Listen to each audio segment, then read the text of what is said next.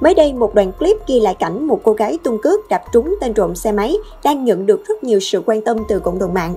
Dù không bắt được tên trộm, nhưng hành động dũng cảm của cô gái đang nhận về nhiều lời khen. Được biết, cô gái này là Ngọc Tuyền, sinh năm 2001, quê Đồng Tháp. Chiếc xe máy suýt mất chính là tài sản của Tuyền.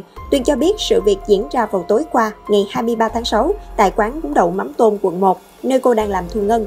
Theo đó, quầy thu ngân có bậc thềm khá cao hơn khu vực để xe trước quán nên che khuất tầm nhìn, khiến Tuyền không nhìn thấy được tên trộm. Vừa lúc Tuyền quay sang chiếc xe máy thì nhìn thấy hai tên trộm đã bẻ được khóa và quay xe chuẩn bị phóng đi.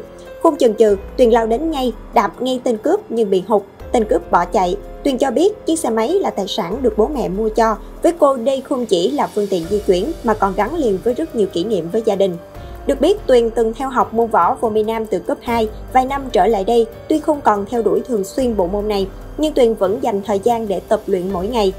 Do mặc váy dài và rộng, khiến nhiều người theo dõi sự việc cho rằng Tuyền đang mang bầu. Tuy nhiên, cô đã lên tiếng khẳng định không có chuyện này. Biết được thông tin, gia đình vô cùng lo lắng và dặn dò con gái cẩn thận hơn trong việc bảo vệ tài sản.